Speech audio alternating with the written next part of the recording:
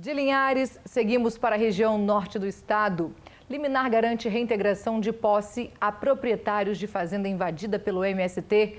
Vamos até São Mateus falar com o Jota Barbosa, que tem mais notícias para gente. Boa noite para você, Jota.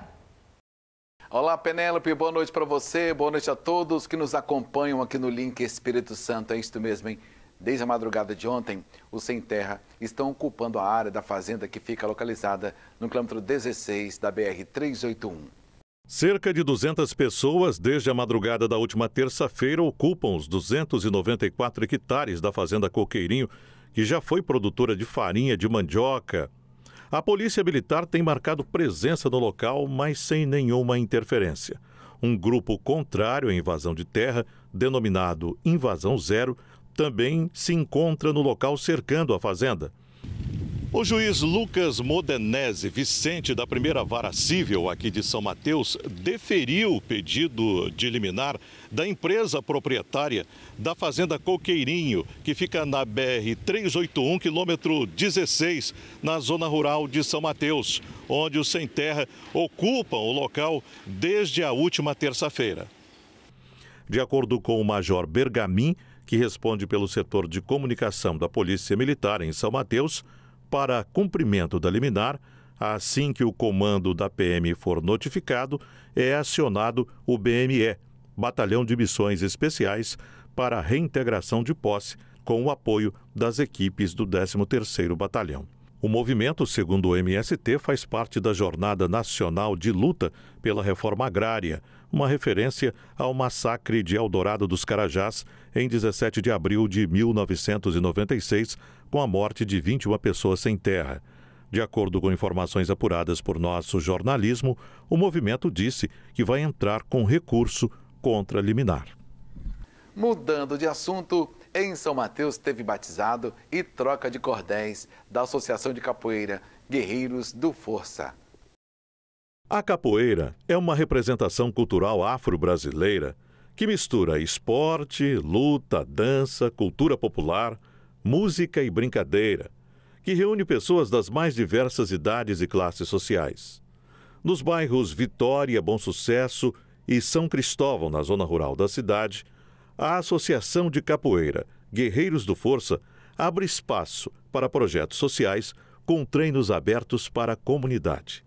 A capoeira em si não é só para, como muitos falam, ah, é só ir lá jogar, não sei o que, não. Não precisa se divertir, é para você ter amigos, é para você fazer um ambiente, como a gente fala mesmo, família mesmo. Aí aqui o que, a gente faz? A gente faz dança, a gente faz cultura, a gente faz. Muitos falam, ah, é luta, que não sei o que, que machuca. Não, aqui não é para machucar, aqui é para as crianças aprender, ter uma disciplina. Aqui a gente ajuda os menores também ir bem na escola, porque se não tiver bem na escola, na capoeira também a gente não aceita. E quando a gente fala projeto social, é 100% social. Não é cobrado nada, não tem que pagar nada, é só vir e treinar. Ah, não sei o quê, todo, toda segunda e quinta, às 7 horas da noite, tanto aqui quanto na quadra do bairro Vitória, está aberto para quem quiser. E é aberto para quem quiser. Aí os outros falam, ah, mas quanto é a taxa? Não, não tem taxa, é totalmente social. E para isso mesmo, é para aprender, é para se divertir. Ah, estou triste, não quero ir. Vem assim mesmo, que aqui a gente vai achar um motivo para botar isso para se divertir de novo.